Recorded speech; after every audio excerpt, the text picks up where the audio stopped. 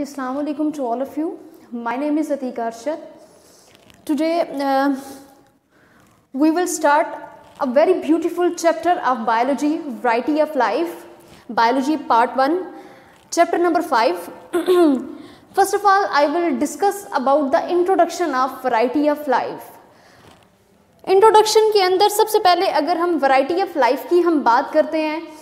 तो uh, एक word है जो कि हम uh, प्रीवियस अपनी जो छोटी क्लासेज होती हैं नाइन टेंथ की अगर हम बात करते हैं तो एक बड़ा एक वर्ड आप जो है वो बार बार वहाँ पे यूज़ हो रहा था, वो वर्ड आप पढ़ के आए बायोडाइवर्सिटी बेसिकली जब हम बायोडाइवर्सिटी की बात करते हैं तो बायोडाइवर्सिटी का मतलब होता है कि वैरायटी ऑफ़ लाइफ लाइक अल्लाह ताला ने इस कायनात में जितनी भी चीज़ें पैदा की हैं, अगर हम प्लांट्स की बात करते हैं, अगर हम एनिमल्स की बात करते हैं तो उनकी वराइटीज़ जो हैं वो पाई जाती हैं। बेसिकली जब हम वैरायटी की बात करते हैं तो वो जो वर्ड हम यूज़ करते हैं बायोडाइवर्सिटी बेसिकली वही बायोडाइवर्सिटी जो होता है वो वैरायटी ऑफ़ लाइफ कहलाता है। सो so, अब इंट्रोडक्शन की तरफ़ जो कि आपको लिखा हुआ नज़र आ रहा है यहाँ पे सबसे पहले जो है वो हम तमाम पॉइंट्स को जो है वो डिस्कस करने से पहले हम इंट्रोडक्शन की जब बात करते हैं तो बेसिकली जो साइंटिस्ट हैं साइंटिस्ट ने एनिमल्स की जो है वो राउंड अबाउट 1.5 मिलियन स्पीशीज़ जो हैं वो डिस्कवर की हैं और प्लांट्स की जो है वो 0.5 मिलियन स्पीशीज़ जो हैं वो साइंटिस्ट ने डिस्कवर की हैं।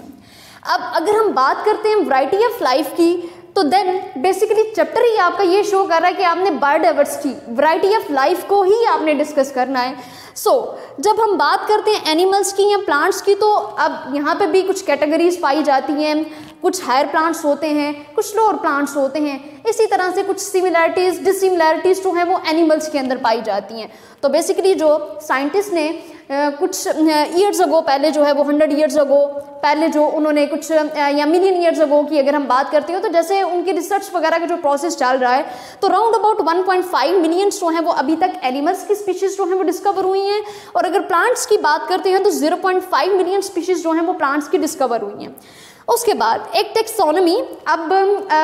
प्लांट्स की ए, बहुत सी जो कैटेगरीज पाई जा रही हैं एनिमल्स की पाई जा रही हैं तो उसको उसके लिए एक सिस्टम की ज़रूरत महसूस हुई कि हमने क्लासिफिकेशन का प्रोसेस करना है। सो so, जब हम टेक्सोनमी की बात करते हैं अब टेक्सोनमी जो है वो बायोलॉजी की एक ब्रांच है। Branch of biology in which living organisms are classified and give scientific names अब ये वो बायोलॉजी की ब्रांच है जिसमें लिविंग ऑर्गेनिजम्स को जो है वो साइंटिफिक नेम्स दिए जाते हैं, उनको ग्रुप्स में चेंज किया जाता है, उनको सब ग्रुप्स में चेंज कर दिया जाता है। तो क्लासिफिकेशन के लिहाज से अगर हम टेक्सोनोमी की बात करते हैं तो जिस तरह से हम देखते हैं कि इतनी ज़्यादा हमें अपने इर्द गिर्द प्लांट्स की एनिमल्स की स्पीशीज़ नज़र आती हैं तो प्लांट्स को किस कैटेगरी में रखना है? एनिमल्स को किस कैटेगरी में रखना है? फंजाई को किस कैटेगरी में रखना है? तो जितनी भी मखलूक जो है वो अल्लाह ताला ने बनाई हुई हैं, उसके लिए जो है उनको क्लासी, उनकी क्लासिफिकेशन के लिए जो है प्रोसेस जो था वो बनाया गया था और जिसके लिए जो है वो एक फ़ील्ड को अडॉप्ट किया गया या उसके ऊपर जो है वो बेसिकली जो था वो टेक्सोनमी था। अब उसके बाद हम यूनिट्स ऑफ़ क्लासिफिकेशन की बात करते हैं तो यूनिट्स ऑफ़ जो क्लासिफिकेशन है, इसमें अब इसको वन बाय वन हम डिस्कस कर लेते हैं बेसिकली जो कि नज़र आ रहा है आपको, कि number one point is that kingdom then phylum class order family genus and species अब कुछ बच्चों को ना ये नाम याद करते हुए जो है वो कुछ प्रॉब्लम होती है, या इजीली जो है वो ये नाम याद नहीं कर पाते, जिसकी वजह से एक यहाँ पे एक ना हल्का सा मैं पॉइंट आपके साथ डिस्कस करना चाहूँगी कि यहाँ पे एक मैं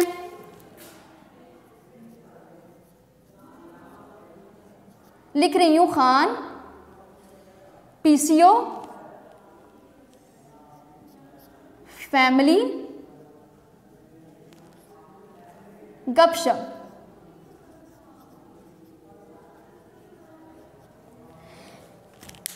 खान पीसीओ फैमिली गपशप। अब इसके अंदर एक पॉइंट छुपा हुआ है कि मैं बेसिकली आपको अगर ये नाम याद करवाने के लिए कहूँ कि kingdom phylum class order family species genus species इसके अंदर अगर आपको ये नाम जो है वो याद करने में कोई ना कोई प्रॉब्लम होती है तो आप इस चीज़ को फॉलो कर सकते हैं। खान। खान पीसीओ फैमिली गपशप। अब यहाँ पे आप इसको ऐसे भी याद कर सकते हैं कि खान की दुकान पे, खान के पीसीओ पे फैमिली ने बैठ करके गपशप की। फिर से मैं एक दफ़ा रिपीट कर देती हूँ कि खान की दुकान पे या खान के पीसीओ पे फैमिली ने बैठ करके गपशप की। So number one point is that Khan, kingdom, के के खान है और उसी से किंगडम। देन पीसीओ अब यहाँ पे पीसीओ पीसीओ की शॉप पे बैठ करके जो गपशप की थी, यहाँ पे पीसीओ है तो वो पी जो होगा वो फाइलम को शो करेगा देन सी है सी जो होगा वो क्लास को शो करेगा, और अगर हम ओ की बात करते हैं पीसीओ ये थर्ड जो आपको ओ नज़र आ रहा है, वो होगा order kingdom phylum class order Khan पीसीओ देन मैंने नेक्स्ट पॉइंट जो लिखा, वो मैंने फैमिली लिखा. अब यहाँ पे जो फैमिली है Khan kingdom phylum class order family और गपशप ये है जीनस और स्पीशीज़ सो इस तरह से इसको फॉलो करके आप नाम ये याद रख सकते हैं कि किस, जो क्लासिफिकेशन को जो जो यूनिट्स हैं kingdom phylum class order family genus species जो है, वो खान पीसीओ फैमिली गपशप के नाम से आप याद कर सकते हैं। और बेसिकली यहाँ पे जो है ये एम के नाम से अगर मैं एम जो है यहाँ पे शॉर्ट क्वेश्चन या एम जो है यहाँ पे बड़ा इंपॉर्टेंट होता है। अब यहाँ पे जो किंगडम है बेसिकली लार्जेस्ट यूनिट है। ये क्लासिफिकेशन का सबसे लार्जेस्ट यूनिट है, सबसे बड़ा यूनिट ये होता है। और किंगडम जो है, वो रिलेटेड है फाइलम से।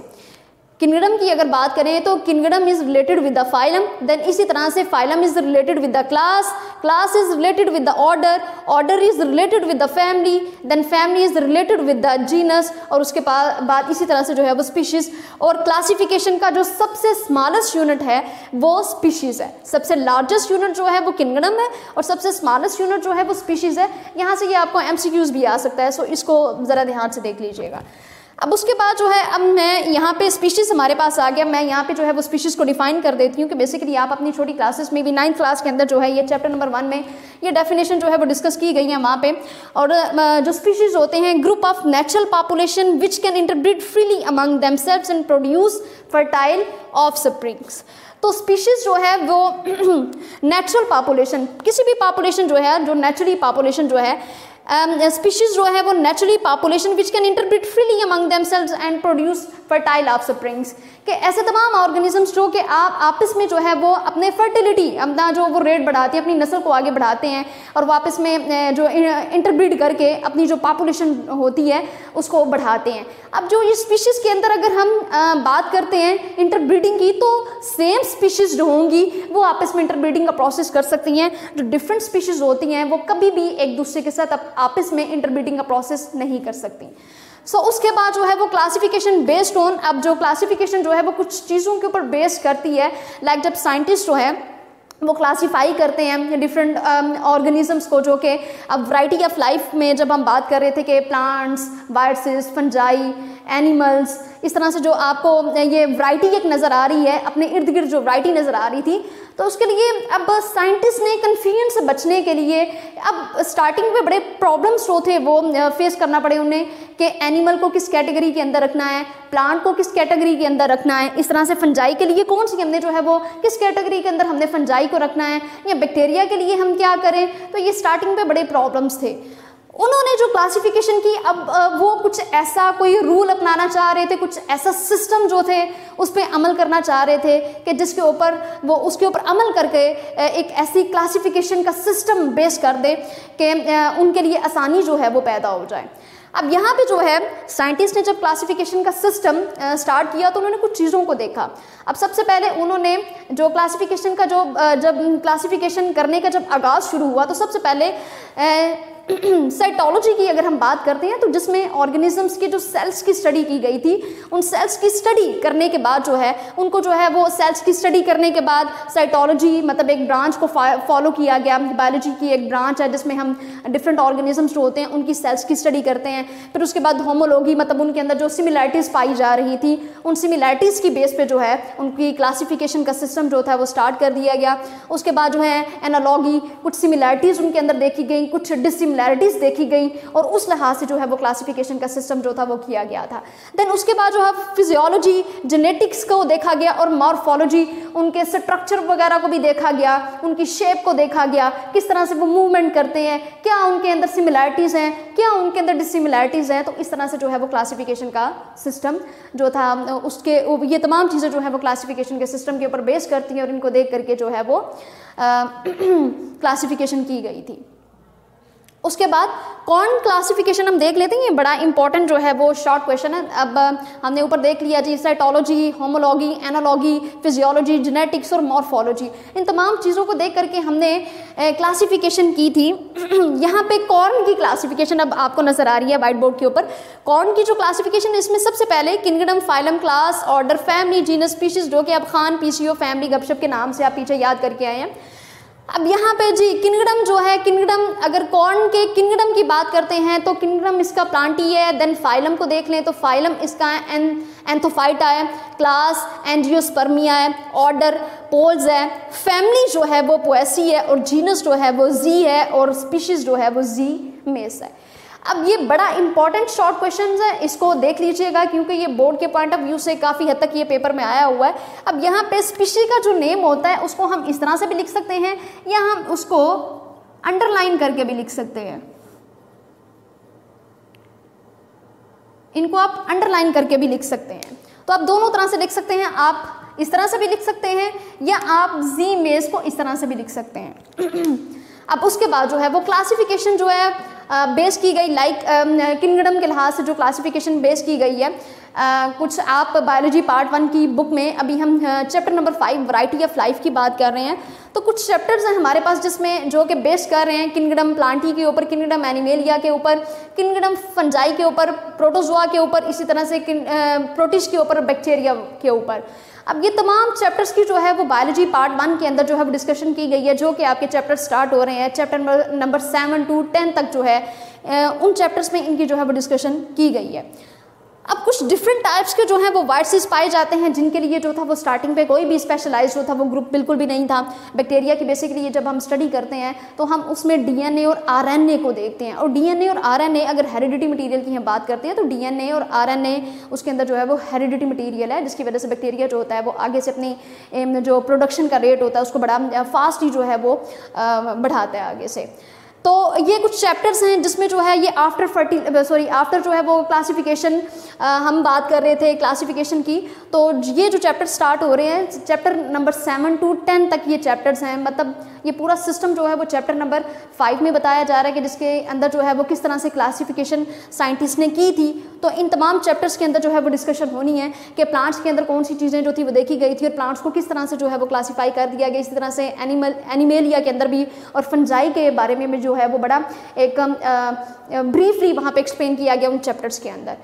देन यहाँ पे हम देख लेते हैं जी classification of plants and animals को अगर हम देखें तो क्लासिफिकेशन जो प्लांट्स और एनिमल्स की जो की गई थी, उसमें कुछ जो डिफरेंसेस जो थे नज़र आ रहे थे। अब वो डिफरेंसेस जो थे, वो बेस कर रहे थे कलर के ऊपर हाइट के ऊपर स्ट्रक्चर के ऊपर मूवमेंट के ऊपर और शेप वगैरह के ऊपर। तो इन तमाम चीज़ों को देख करके जो थी, वो क्लासिफिकेशन साइंटिस्ट कर रहे थे। अब बायोलॉजिस्ट ने जो है वो क्लासीफाई किया तमाम लिविंग ऑर्गेनिजम्स को ऑन दिस बेसिस ठीक है? अब यहाँ पे हमने देख लिया क्लासिफिकेशन जो है वो, उसके इंट्रोडक्शन को हमने देखा वैरायटी ऑफ़ लाइफ के अंदर जो प्लांट और एनिमल्स की जो स्पीशीज़ थी, आज हमने उनके इंट्रोडक्शन के बारे में हमने डिस्कशन की है। देन हमने जो नेक्स्ट अपना जो लेक्चर होगा, उसमें हमने नमैन को लेकर के बात करनी है कि बाइनोमियल नमैन क्या होता है और साइंटिस्ट ने जो थे वो किस तरह से साइंटिफिक नेम्स देना शुरू कर दिए थे कि जब वो डिफरेंट रीजन्स के अंदर जाते थे तो उनको बड़ी प्रॉब्लम होती थी। लाइक यहाँ पे एक सिंपल सी एग्जांपल जो है कि तमाम बच्चों को पता होती है कि ऑनियन की अगर मैं बात करती हूँ बेसिकली तो ऑनियन जो है अब वो आ, पाकिस्तान के अंदर अगर हम बात करें तो डिफरेंट रीजन्स के अंदर उसके डिफरेंट नाम हैं। लाइक ओनियन को जो है वो आ, कहा जाता है जी गंडा भी कहा जाता है बसाल भी कहा जाता है बसाल भी कहा जाता है पंजाबी में सराइकी वगैरह में इसके नाम है और इसको डिफरेंट रीजन्स के अंदर डिफरेंट नामों से जो है वो जाना जाता है। तो साइंटिस्ट ने जो है अब, अब ऐसा सिस्टम ये जो कि नमैन का जो सिस्टम मैं आपके साथ डिस्कस करूँगी नेक्स्ट लेक्चर में उसमें साइंटिस्ट ने साइंटिफिक नेम्स वगैरह देना शुरू कर दिए थे कि हम कन्फ्यूज़न से बच सकें कि अगर हम थ्रू आउट द वर्ल्ड अगर हम कहीं चले जाते हैं तो डिफरेंट रीजन्स के अंदर इन तमाम स्पीशीज़ के जो हैं वो डिफरेंट नाम हैं और ये बड़ी कन्फ्यूज़न जो है वो क्रिएट करते हैं और इस कन्फ्यूज़न से बचने के लिए उन्होंने साइंटिफिक नेम देना शुरू कर दिए थे और ऑनियन को उन्होंने एलियम सिपा का नाम दे दिया जिस तरह से आपको ये कॉर्न में नज़र आ रहा है कि कॉर्न के अंदर जो है इसकी स्पीशी में जी मेज़ आपको नज़र आ रहा है। तो ये साइंटिफिक नेम इसी वजह से दिया गया था कि अगर हम डिफरेंट रीजन्स के अंदर अगर हम चले जाते हैं तो अगर जी मेज़ के नाम से अगर हम बोलते हैं तो हमें पता चल जाता है जी कौन की बात हो रही है। तो इस तरह से जो है वो साइंटिफिक नेम दिए गए तो ये तमाम ये तमाम हमने जो आज जो डिस्कशन की है, ये सारी की सारी it's all about to classification अब यहाँ पे जो है वो शॉर्ट क्वेश्चन जो कि आते हैं, मैं आपको इस टॉपिक में से शॉर्ट क्वेश्चंस भी बता देती हूँ कि ये जितनी भी हमने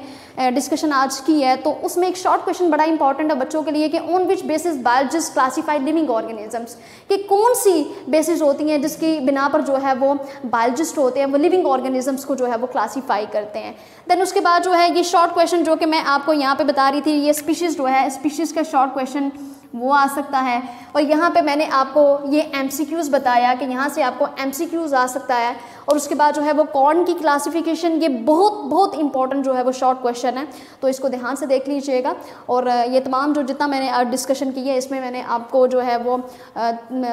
एम के लिहाज से ये वाला टॉपिक बता दिया स्पीशीज़ के लिहाज से मैंने शॉर्ट क्वेश्चन बता दिया। और यहाँ से एक शॉर्ट क्वेश्चन जो है, ये बहुत इंपॉर्टेंट है। और उसके बाद दो शॉर्ट क्वेश्चन मैंने मजीद आपको बताया कि कौन सी जो है, किस बेस पे जो है वो बायोलॉजिस्ट जो है वो लिविंग ऑर्गेनिजम्स को क्लासीफाई करते हैं। तो बाकी जो नमैन के ऊपर हम लोग अपने नेक्स्ट लेक्चर में डिस्कस की करेंगे। अल्लाह ताला आपका हामी नासिर हो दुआ में याद रखिएगा जी थैंक यू सो मच जजाकल्ला वीडियो पसंद आई तो लाइक करें, अपनी राय कमेंट करें। ऐसे ही मजीद वीडियोस के लिए हमारा चैनल सब्सक्राइब करें और बेल का आइकन दबाएँ ताकि आपको हर वीडियो का नोटिफिकेशन मिलता रहे।